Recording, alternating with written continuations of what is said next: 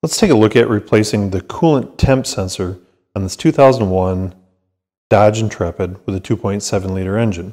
Now you can see I've got my 3 8 ratchet with a 3 quarter inch socket here. It's really all the tools I'm going to need. So let's take a closer look at the sensor itself in the front of the engine here, right by the, the outlet.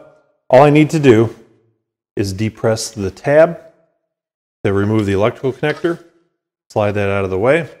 To take my socket, slide it over, and break it loose. Now we want to make sure the engine is nice and cool before doing this, and make sure there's no pressure in the cooling system. If there is, it could cause some injury or burn marks. So we want to make sure it's cool. I can unthread this one. Be ready with my new one. You can see that there's already thread sealer applied to it. So we're all set. Once I get my old one out, I will thread in my new one here. Hopefully I don't get too much coolant loss. I'm going to start it by hand. Run it in there.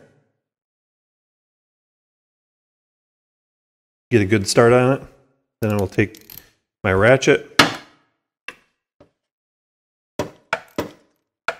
and run it in the rest of the way.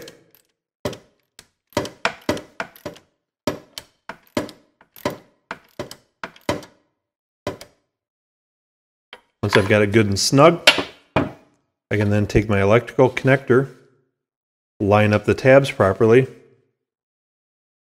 clip it in, make sure it's locked on there properly, and now we've just gone ahead and replaced the sensor. You'll notice the bleeder screw on the top here.